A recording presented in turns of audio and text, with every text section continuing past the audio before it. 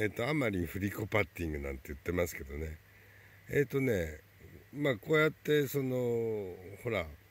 何ていうんですか普通にアプローチとか例えばこれ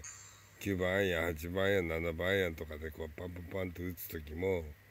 こうやって打つんですよね。でパターも同じに打った方が気分的に楽だからそうやって打ってて遊んでたんですね。でそこで気が付いたことが要するに今の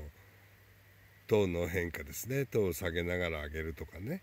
上げながら下げるっていうのをあの普通のショットと同じようにパッティングにもロフトがついてますからね。パターといえどもね。4度から56度。でそのパッティングの技術があの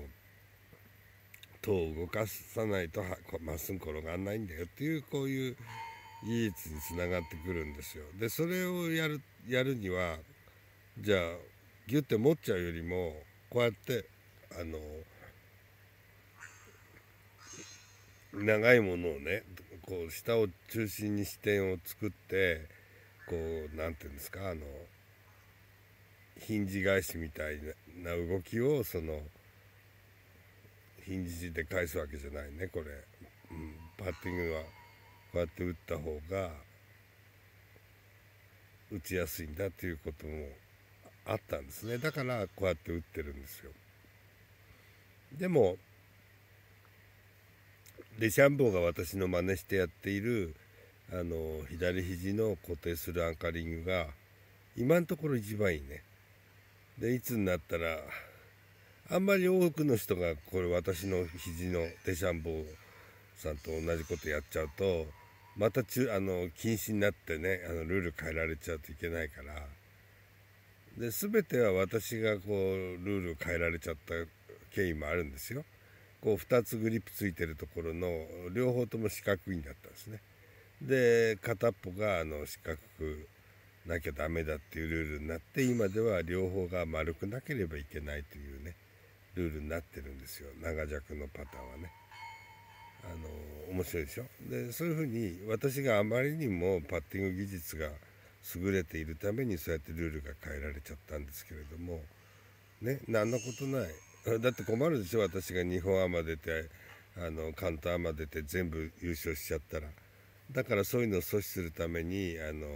R&A もねあのまあ J オープン出て全部勝たれたら困っちゃうよね私はね。全部ワンパットで沈めちゃうんだからさ。だからあのまあ私も遊びでやってゴルフは遊びだと思ってやってましたから、まあ、人に教えることはあってもね。だからあの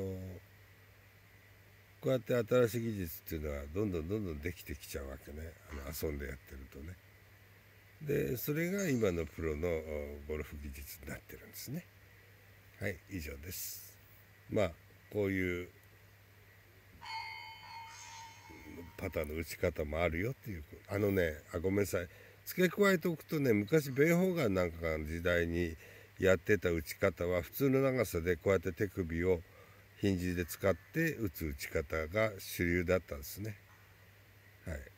それあのモダンゴルフの頃はパターンそういう打ち方だったんですよ皆さん知らないと思うけどこれはあのフィルム見れば分かります。はい以上です。